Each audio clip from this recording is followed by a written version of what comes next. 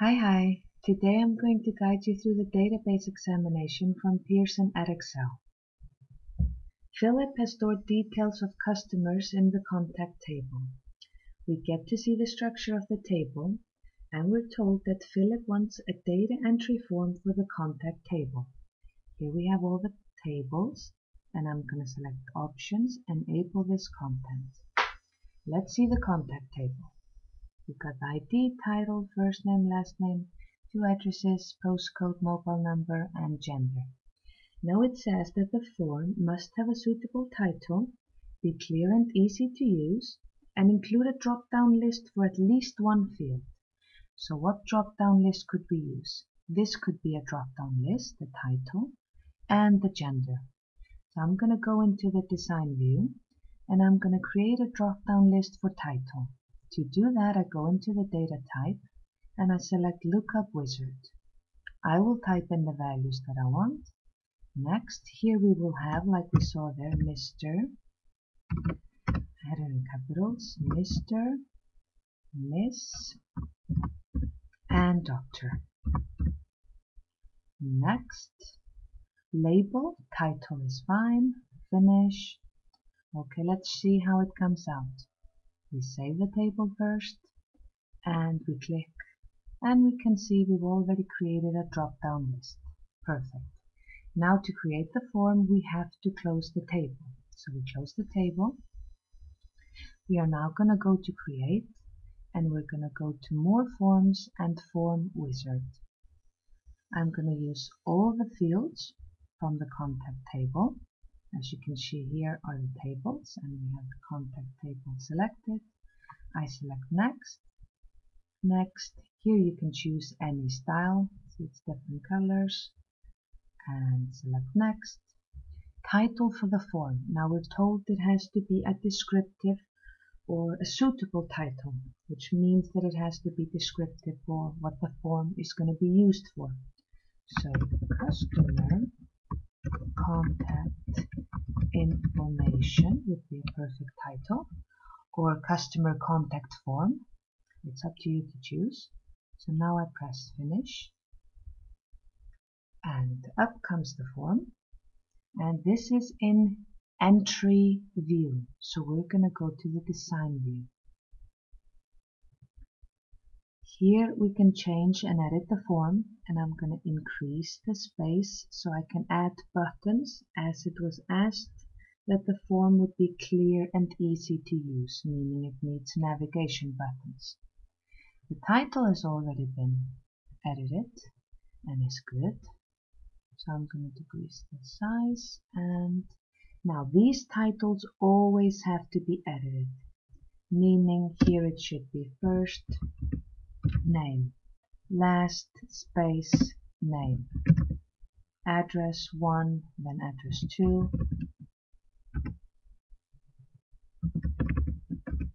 and postcode, so post space code mobile number.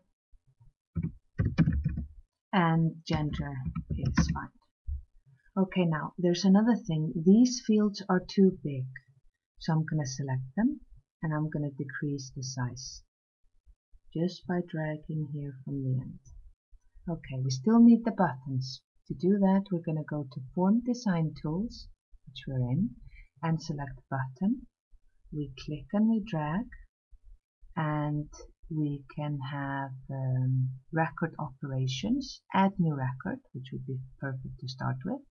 I'm going to choose text. Next. Here you can rename it also, the name of the button. And I'm going to create another button. This one will be to delete the record. So record operation, delete record, next, also text, and finish. Then I'm going to create a button that will close the form and that means I have to choose form operations and close form next also text finish as you can see this is a clear and easy form to use you can close it you can go to add a record we should be able to go to the next record so I'm going to create another button So put it here in between. So go to next record. Next. Here's the same thing, text, finish. Now to make the buttons all be the same size, I'm going to choose them all using shift on the keyboard. We can go to arrange and there I'm going to select um, fit to the widest and increase horizontal space and equal horizontal. That looks good. I'm going to use the keys on the keyboard, navigation keys upward to make sure that the space and the size is similar on all the buttons. Here we could have selected all the all the titles and we go to home as we want them in bold and maybe black color so it's really easy to read. You can also choose a different font. So here I'm going to choose Arial, just type it in and press enter and as you can see it's simpler to to see and view. And now we're going to go to form data view and we can go to the we can test our buttons. So I'm going to press next record and as you can see it moves to the next record. If I would say add record it should open with this empty I need to add a record. And here I can use my drop down list and use tab to go between the fields. And if I want to delete record, I obviously have to have a record selected. Delete, and then it will warn me, you're about to delete a record. So I'm going to say no. And this button is then to close the form. Do you want to save changes? And as we haven't saved our form, I'm going to say yes. And to see the form, I have to click this button over here, choose forms, and here's the form that I just created. Oh no, it's not. Uh, it was this one with a suitable title. So now I'm going to rename it. And to rename it, we have to close it. So I'm going to press F2. Now we're always naming forms with FRM and then the name and no spaces between. Okay, so this is our form ready to be used. Now, they ask you then to display the form in form view and take a screenshot of the complete data entry form. So this is form view. So what we would do now is press the print screen button on the keyboard, open a Word document,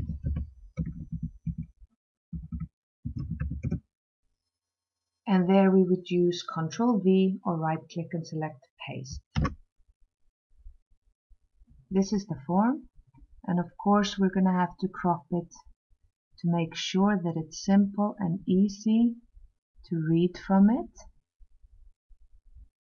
and that everything is big enough. So we're going to have to, after we crop, we're going to increase the size by dragging from the corners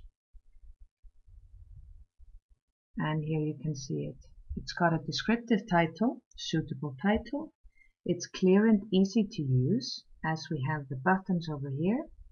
We have a drop-down list and they ask to include at least one drop-down field.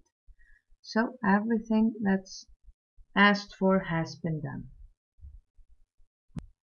We are then asked to answer questions and those are explain why the data type for mobile number is set as text. Now let's see our table. So we have to go from forms to tables and here we have the contact table and as we can see there is a space here between the numbers. Now in the design view we see that the mobile number is set to text. Why? Because phone numbers can have spaces and sometimes they start with a zero. And that's why we cannot have this as a number. It has to be set as a date type text. The other question they ask is, explain why a drop-down list is sometimes used on a data entry form. The reason is, as you can see when we're in data view, uh, it's easier to select from the list and it's quicker than typing in the values. So now we've answered the questions. Then we are told that Phillips wants the table sorted. Then it says sort the contact table in ascending order of last name. Now to sort, we're going to go to the last name. When we click over here, we get these options and we're going to select A to Z, which means ascending order. Then it asks us to copy and paste the contact table into a Word document, word processing document. So what we can do now is select this little corner here. Everything gets selected. We can select Control C for copy. We open our Word document and probably it is a new document depending on what they tell you and you're supposed to name it task db1 and you would do that in the footer of the document. But here I'm gonna add some space.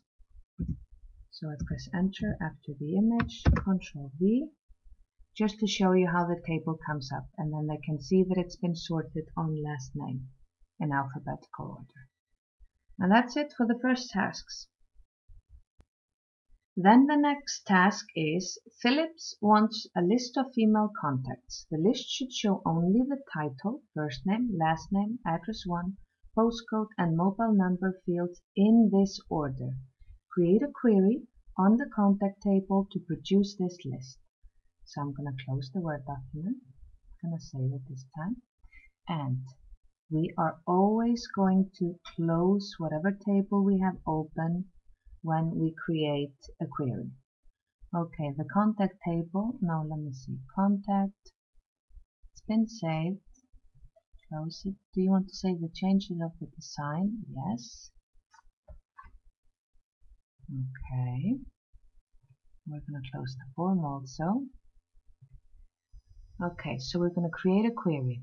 We have to select the Create tab and to create the query, I'm going to do a query wizard. And it's going to be a simple query. What did we need to include? He wants the list of females, so we need the title, we need first name, we need last name, address 1, postcode and mobile number, postcode and mobile number. Now it says only female, so I will have to use the gender to select F for female. Now I press next. Now the query title should be also descriptive. Uh, this is female, so Q-R-Y, female. And finish. Now I have the query. Let's see it in design view. So we go to home and design view. And as it needs to be in the right order, title, first name, last name, the gender is not just supposed to be seen. So what we're going to do here in the criteria is we're going to write F for female. And we're going to take this tick away by selecting it. Now, if we run the query now, we see all the female contestants, but we do not see the female field. And now we're told to display the results of the query. Now when we do that, I want you to minimize this table and show how many records were found. So you're going to be on the last record or select the last record and then the total amount is shown 14. We can hide this window here and we can make sure that all the fields are viewable. You can see the whole field name and now you can print screen. So use Alt on the keyboard and print screen, meaning you only take a print screen of the active window. Now I'm going to open a Word document and we're going to paste our results using Ctrl V and as you can see only what is needed can be seen in this print screen image. The next task is Philip has stored details of the bicycles in the bicycle table. He wants a list of family tandem type bicycles purchased before 1st of January 2013. The list should show only the bicycle name, type, purchase date and cost fields. Create a query search on the bicycle table to produce this list. So we're going to minimize this. We're going to open it again. We can close our query and yes we would like to save it. Let's open this field again. Now we're going to create another query. So again, query wizard, or we can go straight away to the query design. And that's okay, so you can see how that's done also. We want to use the bicycle table, so I double click on it and close this window. Let's see all the fields. Now, he wanted only the bicycle name, bicycle type, purchase date, and the cost field. And we're supposed to show a list of family tandem type of bike. So we're going to go to the type. In the criteria, we have to write there family.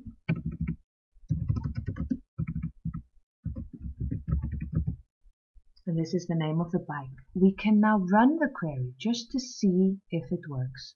Run. Yes, we get only the family tandem types.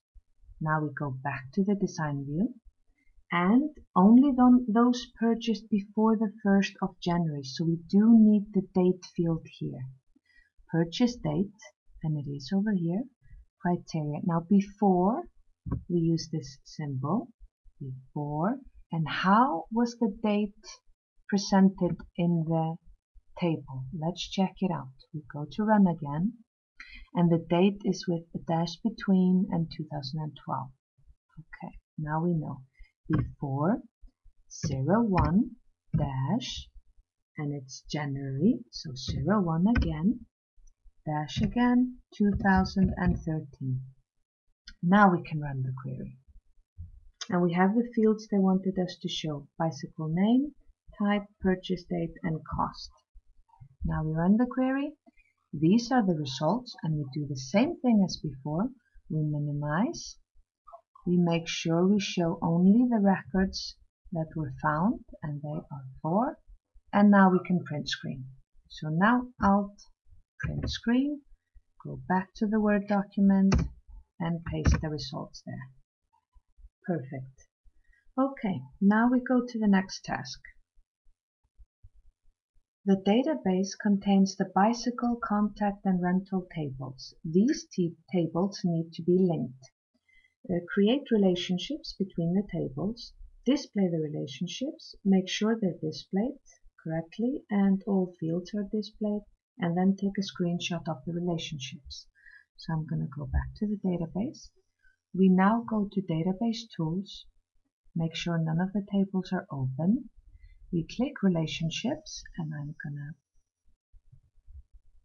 delete the relationships already made so you understand how this is created. Now, first of all, there were no tables here, so I am gonna delete the table just by clicking on it and pressing delete. You can delete the tables. And I am going to do it as it would be done from the beginning. Okay, we need to add all the tables and they're not connected and we have to create the relationships between the tables. Uh, we have a bicycle that can be rented out. We have a person that can rent it. Those are the contacts. And we have the rental table. Now we always connect from a primary key to the same field in the other table. Now we have the contact ID both here and here. So I'm going to connect the contact ID to the contact ID in the other table and here I have to say enforce referential integrity to make sure that one-to-many relationship is displayed, meaning one person can rent many bikes. Okay, then from the bicycle, we have the bicycle ID and then the bicycle ID in the other table. We're going to click and drag. Let go here. Same again, enforce referential integrity and create. One bike can be rented many times. One person can rent many bikes. Now, we've displayed all the relationships, we can see all the fields, and now we're ready to print screen. So we press print screen, we go back to the Word document where we're supposed to show our results, Control V, and in this case you would have to crop because it's not very clear. So minimize. Make sure you show that it's the relationship window.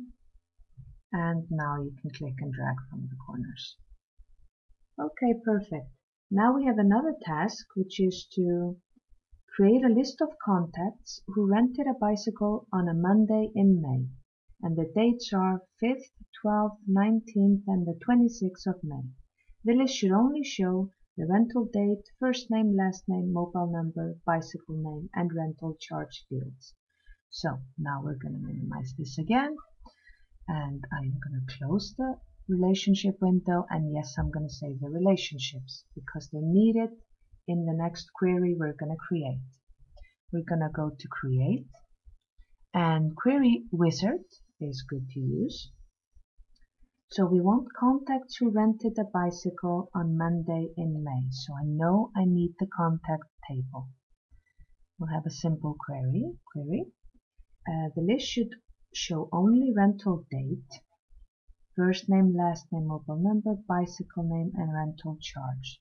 So from the contacts table, we're going to display the first name, the last name, the mobile number, and nothing else from the contact table. Now we go to the bicycle rental, since it's going to be a bicycle that was rented in May. So the rental table, we need the rental date, and we need the bicycle name, which we'll get from the bicycle table, bicycle name, and then rental charge. Uh, here's the rental charge. Then we press next and finish. Okay, these are the answers from that query. Come up straight away. So we're to go to home and see it in design view. Okay, so it's easier and simpler to see how the tables are connected like this. Now, we need to put in the dates in May. And so we're going to go to the rental date. And it has to be the 5th, so 05th of the 5th, 2013. Now the next date was the 12th, so same thing again. Then it was the 19th,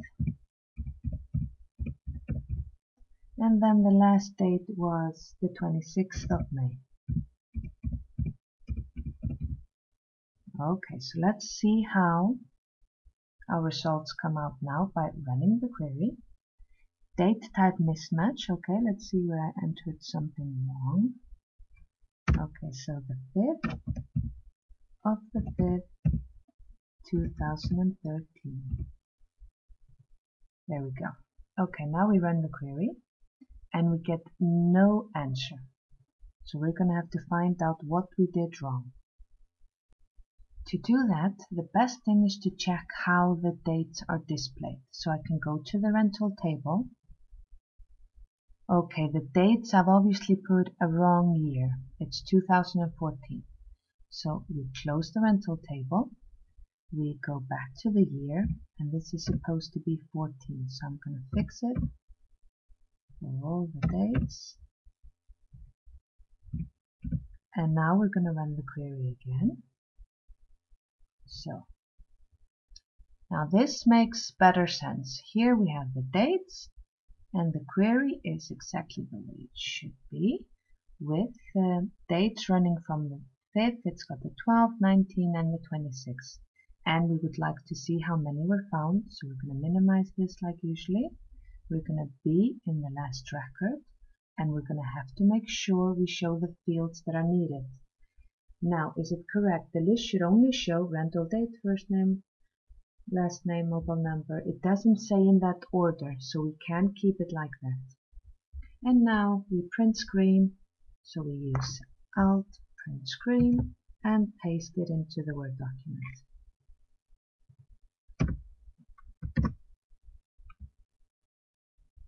And make sure always the field names that you can see the whole field name.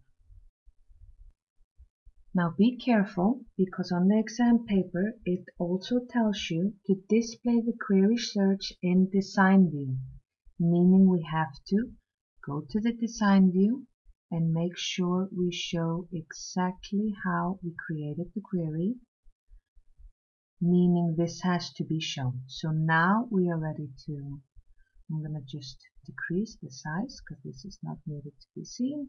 And now we can press Alt, print screen, go back to the Word document and paste our results.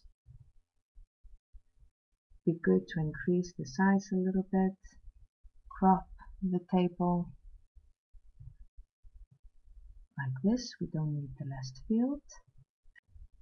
Okay, so our next task is to create a database report based on the results of the last query. Now, the database report must have a suitable title, show only rental date, last name, mobile number, bicycle name, and rental charge in this order. Make sure column headings are easy to understand. Okay, so what we have to do is check. This is the last query we made, and it's supposed to show only date, last name, mobile number, bicycle name, rental charge in this order. So we're going to skip uh, the first name. So I'm going to minimize this. We are going to, we could change the query here. We could take out the first name, for example. But there's another way of doing this. We're just going to close the query. We're going to create a report. So we're going to go to Report Wizard. We're going to use the last query we created and we're not going to include the first name. And as it wanted the fields in a particular order, we're going to read the order and do it straight away here. It says rental date, so rental date, last name, then mobile number, then bicycle name, then rental charge. And that's the only thing it shows. So I'm going to press next. And there is no special viewing that they ask for. They do not ask for grouping. So I go to the next. And no alphabetical order is being asked for. So I press finish. And this is my report. Now what they do ask for is a descriptive or suitable title. So I'm going to close the print preview and create a descriptive title. So it could be rentals of bicycles on Mondays in May. Okay, and we always have to change also the field name as that has to be a suitable title also. So we're going to take out the underscore and just have rental date, last space, name, mobile number, so mobile number, bicycle name and rental charge. Now what's going to happen now is this is going to be way too big. So I'm going to minimize this field straight away because I can see that it's too big for the bicycle name. Make sure it all fits. Now the rental charge is right aligned, so I'm going to left align it. So it's the same as the other fields. Now we also have to include candidate name, your name, candidate number and center number in the page footer.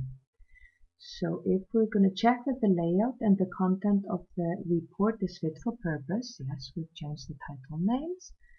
So everything looks good. Make sure the database report fits onto one side of A4 and we can see that in print preview. So I'm going to see how it looks like. Rentals of bicycles on Mondays in May. Descriptive title done. All the titles are also correct. Rental charge, I'm going to make one space here. And then we have to go to the design view again. Rental space charge. Okay, perfect. Now, if you have to add your name to the footer, you increase the report footer space. You're going to go to, um, let me see, label. And with this, you could write candidate name, colon your full name. So I'm just going to write my name.